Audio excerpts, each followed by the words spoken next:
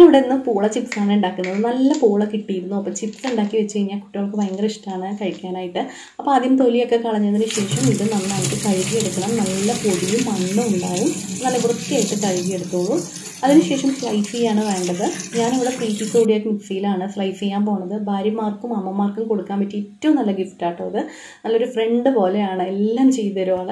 അപ്പോൾ പെട്ടെന്ന് തന്നെ സ്ലൈസ് ആക്കി എടുക്കാൻ പറ്റി. ഇനി ഇത് വറുത്തെടുക്കുകയാണ് വേണ്ടത്. അതിനായിട്ട് ഞാനിവിടെ ഒരു നോൺ സ്റ്റിക്ക് പാനിലേക്ക് വെളിച്ചെണ്ണ ഒഴിച്ചു കൊടുക്കുകയാണ്.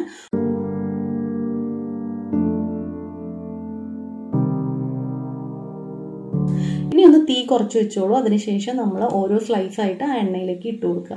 നന്നായിട്ട് അത് മൊരിഞ്ഞ് വരണം. അതായത് കളർ ചേഞ്ച് വരും. പക്ഷെ ഒരുപാട് കരിയാൻ നിൽക്കരുത് കേട്ടോ. പിന്നെ കുറേ ഇടുവും അരുത് കാര്യം കടയിലൊക്കെ നമ്മൾ ഉണ്ടാക്കണ കണ്ടിട്ടുണ്ടാവും. വലിയ പാത്രമായിരിക്കും. അതിൽ കുറേ ഇടാൻ പറ്റും. നമ്മൾ ചെറിയ പാത്രത്തിലാകുമ്പോൾ അതിനനുസരിച്ച് വേണം ഇട്ട് ഉണ്ടാക്കാൻ അല്ലെങ്കിൽ വല്ലാണ്ട് ഒട്ടിപ്പിടിക്കും. അപ്പോൾ അത് പ്രത്യേകം ശ്രദ്ധിക്കുക. ഇതുപോലെ ഒന്ന് കളർ ചേഞ്ച് ആയി കഴിഞ്ഞാൽ ഇത് നമുക്ക് വേറൊരു പാത്രത്തിലേക്ക് മാറ്റാം. അത്രയേ ഉള്ളൂ. ഭയങ്കര ഈസിയാണ് അപ്പോൾ എനിക്കിനി കുറേ കൂടെ ഫ്രൈ ചെയ്തെടുക്കാനുണ്ട്. ടേസ്റ്റിനായിട്ട് നമ്മൾ കുറച്ച് മുളക് പൊടിയും അതേമാതിരി ആവശ്യമുള്ള ഉപ്പ് ഇട്ടിട്ട് നന്നായിട്ട് മിക്സ് ചെയ്യുക മിക്സ് ചെയ്ത് കഴിഞ്ഞാൽ ഇതാണ് നമ്മൾ ഇതിന്റെ മേതെ ഇങ്ങനെ വെതറി കൊടുക്കുന്നത് നേരിയൊക്കെ നമ്മുടെ ഇഷ്ടം അനുസരിച്ച് ചേർക്കാം. ഒരുപാട് എരിവ് വേണ്ടെങ്കിൽ കാശ്മീരി മുളക് പൊടി മതി കേട്ടോ. അപ്പോൾ ഒരു ബാച്ച് പൂള ചിപ്സ് ഇവിടെ റെഡിയാണ് അപ്പോൾ എല്ലാവർക്കും ചായക്ക് വേണ്ടിയിട്ട് ഇപ്പോൾ ഞാൻ കൊടുക്കാൻ വേണ്ടി എടുത്തിരിക്കുന്നതാണ്.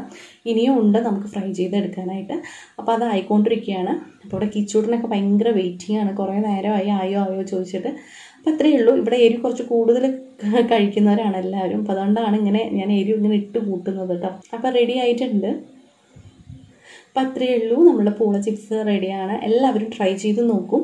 നമ്മൾ ചായ ഉണ്ടാക്കണ നേരം മതി ഇതും ഉണ്ടാക്കിയെടുക്കാൻ. അപ്പം അത്രയും ഈസിയാണ് അപ്പം നമുക്ക് മറ്റൊരു യൂസ്ഫുൾ വീഡിയോയിൽ വീണ്ടും കാണാം.